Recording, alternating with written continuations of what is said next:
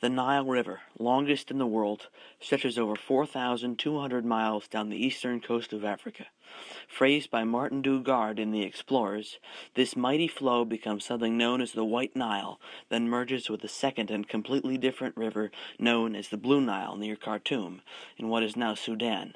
At that point it is merely the Nile, which it remains until it rushes into the Mediterranean Sea, discharging 300 million cubic meters of water per day. The Nile River is home to expansive wildlife, both dangerous and fascinating, natural wonders such as the falls at Lake Victoria and the Nile itself, and natural secrets hidden from the eyes of outsiders.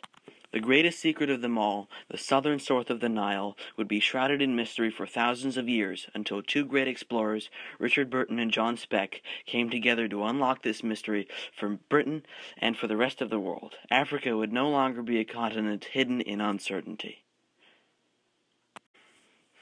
John Hanning Speke was born in the summer of 1827 in the quaint and rural village of Buckland Brewer in England. Richard Francis Burton was born in the spring of 1821, six years earlier, in the significantly larger city of Torquay.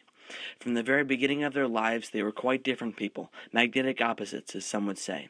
John Speke was known to keep to himself. In the novel The Explorers by Martin Dugard, it is mentioned that Speke was a loner who performed poorly in school and stumbled with the social graces. Conversely, Richard Burton was a renowned geographer, writer, translator, orientalist, soldier, ethnologist, cartographer, linguist, poet, spy, fencer, diplomat, and explorer. He was a man of many talents. Burton was said to have snuck into Mecca disguised as an Arab pilgrim, where only Arabs were allowed. There he was able to gain intelligence for Britain about the city and escape with his life. It was well known that non Arabs caught in Mecca would be captured and would receive harsh punishment, even death. By the words of History Today magazine, compared with the brilliant and wildly unconventional Burton, Speck seemed a plodder.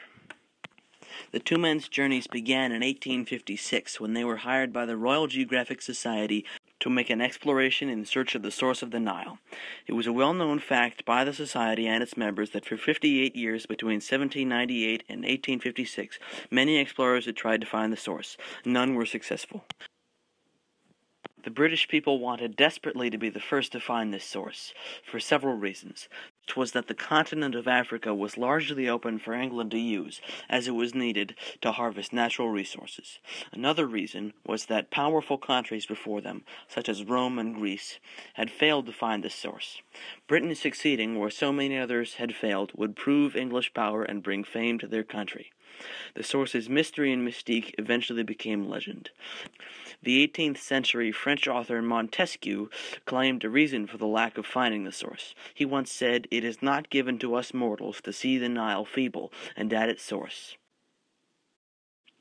The explorers would know equal fame, so Speke and Burton were honored to have this opportunity. To keep the findings of this mission a secret, the search was under the guise of finding the Sea of Ujiji. On the eve of the 1856 journey into Africa with Speke, Burton said, Of the gladdest moments in life, methinks, is the departure upon a distant journey into an unknown land. The two arrive at Zanzibar, an island city in Tanzania, on the 20th of December 1856, the home base for their journey into Africa. Leaving the coast, the group then moved inland onto a well worn slave trade route leading inward 745 miles to Ujiji, where Burton planned to travel on foot with a caravan of native porters. On February 14th of 1858, over a year later, Burton sees the first glimpse of Ujiji and the shores of Lake Tanganyika. It is now known to be the longest lake on earth. Burton was the first foreign man ever to lay eyes on those waters. Speke had earlier lost his vision after long days of intense glare from the sun.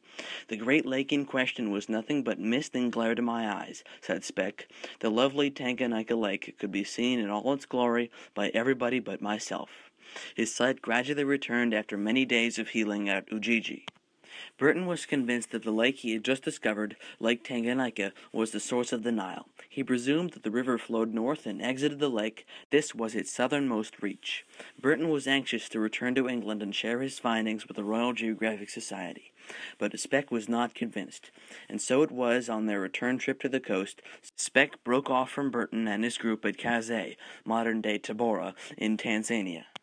Leaving north with a 34 man caravan on July 9, 1858, Speck traveled for three weeks. He simply kept walking farther and farther north, hoping that reports of a great lake were true. They were.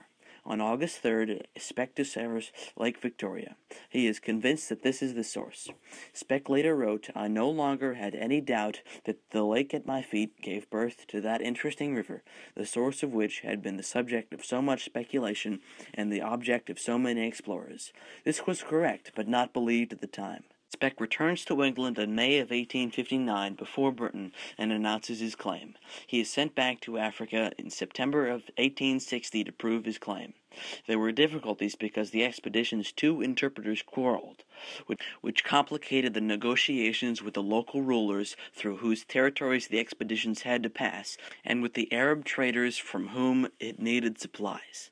The expedition finally reached Gondokoro, a town on the White Nile in South Sudan, in February of 1862, after many delays. Speck then traveled south to the place where the White Nile flowed from Lake Victoria, which he named Ripon Falls, on July 28, 1862. Speck is now at the age of 35.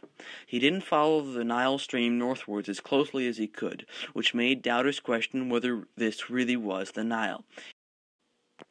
John Speck published a book in December of 1863 titled Journal of the Discovery of the Source of the Nile. The book had been badly edited and appeared both inaccurate and disagreeably boastful. Burton was still refusing to admit that Speck had found the source. Because of this disagreement, a debate between them was scheduled at the British Association September 16, 1864, to decide which claim, Speck's of Lake Victoria or Burton's of Lake Tanganyika, was correct.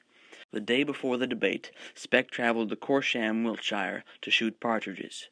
Hunting was decidedly Speck's natural element. He had mentioned that he felt most at peace and relaxed while hunting, and so it was that he decided to hunt before the debate to relieve stress from an obviously anxious time.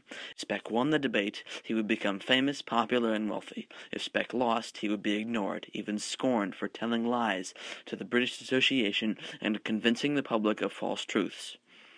He was climbing over a wall scarcely three feet tall with a Lancaster shotgun under his arm. He puts his hand atop the smooth rocks to brace himself, even as the weight of his body presses down hard on the 22 inch Damascus steel barrels. John Speck died on September 15, 1864. His death was probably an accident, but word spread that he had committed suicide because he was too scared to face Burton in debate. Speck was 37. Richard Burton was credited the next day as the discoverer of the source of the Nile. This gained him immense popularity and incredible wealth. He continued to explore and lived to the age of 69. He died on October 20th, 1890, in Trieste, Italy. It was not until 1871 that Lake Victoria was accepted as the correct source of the Nile. The discoveries Burton and Speck made on their journeys into Africa expanded the geographic knowledge of the European world leading eventually to the colonization of the East African region and for the extraction of natural resources from African land to be used in the production of British goods, which were then sold to other areas and used by other countries, further expanding the reaches of the European economy. The discovery of the source of the Nile led to greater knowledge of the African continent for the rest of the world.